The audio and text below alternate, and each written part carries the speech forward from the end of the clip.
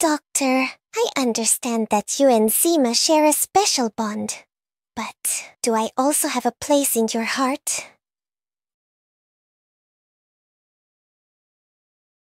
Doctor, ya blue tibia. Please, keep this between us. Don't tell Zima.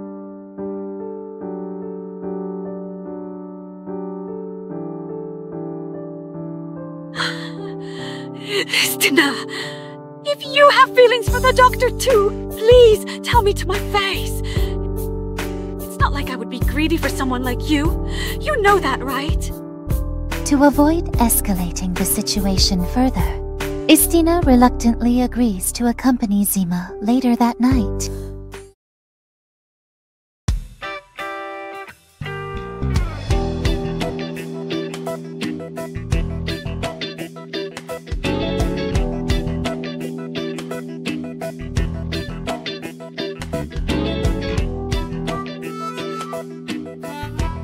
что за хрень?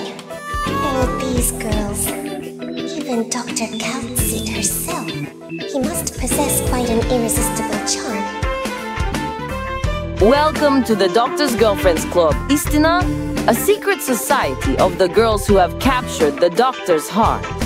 Yes, that includes me too.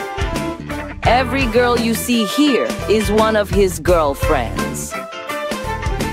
Sonia, how can you allow Dr. Aramis to be unfaithful to you like this? You were angry at me for liking him earlier, but now...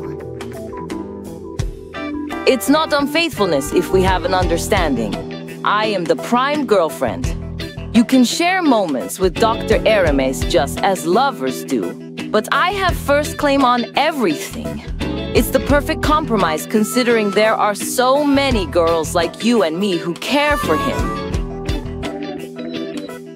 Additionally, this arrangement helps prevent jealousy fueled conflicts among us, allowing us to operate harmoniously as like minded supporters of Dr. Aramis. And it gives us the opportunity to monitor aspects of his health and intimacy that concern us all. Istina, join me in ensuring his happiness and motivation.